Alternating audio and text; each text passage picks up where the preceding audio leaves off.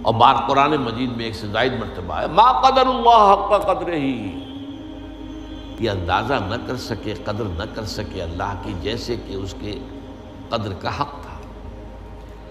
अब हम ये तो कह देंगे अलाकुल्ल शैन कदीर है। वो कितना कदीर है? कैसे मुमकिन है हमारे लिए? हमारे जहन की तराजू के सुनार की तराजू के मानंद है, जिसमें तोले और माशे तुलते हैं। टनो सरिया तो उसमें नहीं तोला जा सकता। तो हमारे दिमाग के इस तराजू के अंदर अल्लाह कितना कादिर है ये नहीं आ सकता। अल्लाह अलीम है, कितना अलीम है ये नहीं आ सकता। तो इस एतबार से टू इवेल्युएट उसमें ज़ाहिर बात है, इसीलिए हुजूर के एक कौल है बहुत मशहूर मांग अरफना का हक का मारफत।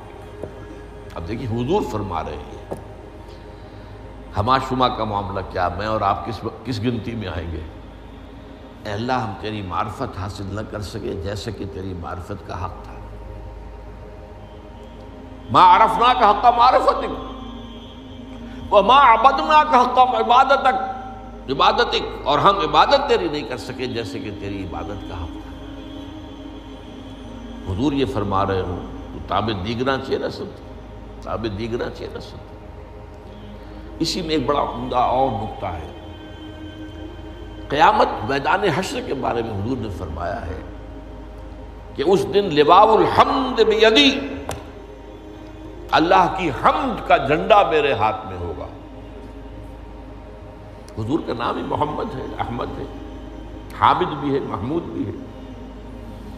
सारा ये हमद के गिरद ही घूमता है मामला। तो इस एतबार से क़यामत के दिन दरबार खुदाबंदी, अब वो दरबार क्या होगा, हम कुछ समझ तो नहीं सकते। उस महफिल में दरबार खुदाबंदी में अल्लाह की हमद होगी, सना होगी, मैं करूँगा। उस रोज़ जो हमद मैं करूँगा, वो आज नहीं कर सकता। इस जुमले पे गौर कीजिए।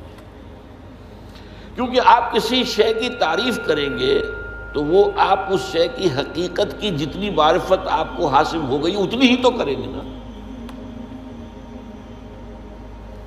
आपकी जो अंडरस्टैंडिंग है, उस उससे आगे तो नहीं जा सकते।